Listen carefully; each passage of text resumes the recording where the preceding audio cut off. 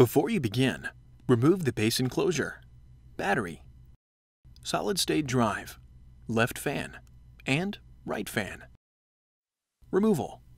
Using minimal force, lift the locking bar up on the fingerprint reader board ZIF connector and disconnect the fingerprint reader board ribbon cable from the system board.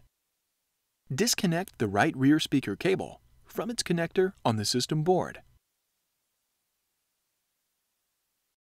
Disconnect the right front speaker cable from its connector on the system board. Using minimal force, lift the locking bar up on the touchpad board ZIF connector and disconnect the touchpad board ribbon cable from the system board.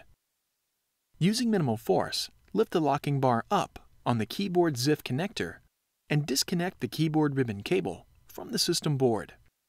Using minimal force, lift the locking bar up on the keyboard backlight ZIF connector and disconnect the keyboard backlight ribbon cable from the system board.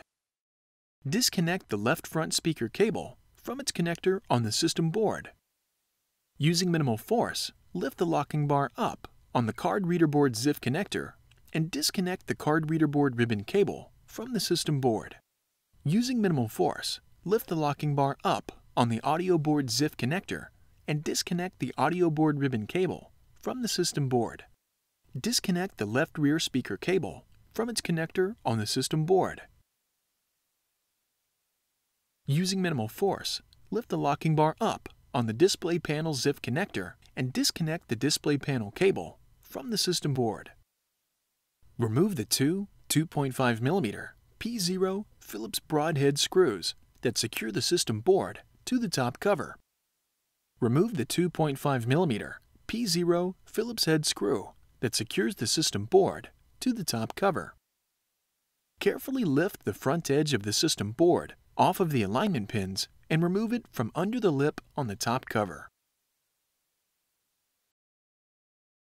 Replacement Note, before installing a system board, remove the following from the old system board and install on the new system board.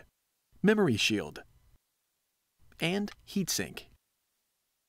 Toe the rear edge of the system board under the lip on the top cover and lower the system board onto the alignment pins on the top cover.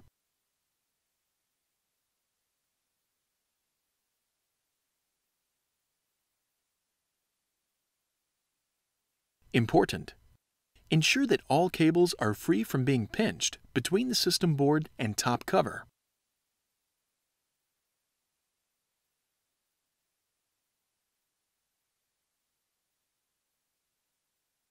Replace the 2.5mm P0 Phillips head screw that secures the system board to the top cover. Replace the two 2.5mm P0 Phillips broadhead screws that secure the system board to the top cover. Insert the display panel cable into the display panel ZIF connector on the system board and press the locking bar down to lock the cable into place.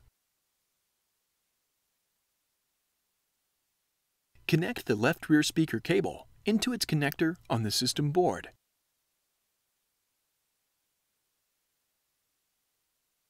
Insert the audio board ribbon cable into the audio board ZIF connector on the system board and press the locking bar down to lock the cable into place.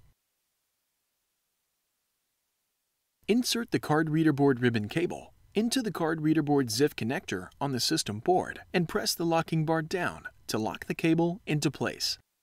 Connect the left front speaker cable into its connector on the system board. Insert the keyboard backlight ribbon cable into the keyboard backlight ZIF connector on the system board and press the locking bar down to lock the cable into place. Insert the keyboard ribbon cable into the keyboard ZIF connector on the system board and press the locking bar down to lock the cable into place. Insert the touchpad board ribbon cable into the touchpad board ZIF connector on the system board and press the locking bar down to lock the cable into place. Connect the right front speaker cable into its connector on the system board. Connect the right rear speaker cable into its connector on the system board. Insert the fingerprint reader board ribbon cable into the fingerprint reader board ZIF connector on the system board and press the locking bar down to lock the cable into place. Important! After system board replacement, be sure to complete post-installation tasks as required that may include verifying functionality of the notebook, updating the BIOS, updating DMI, and other settings,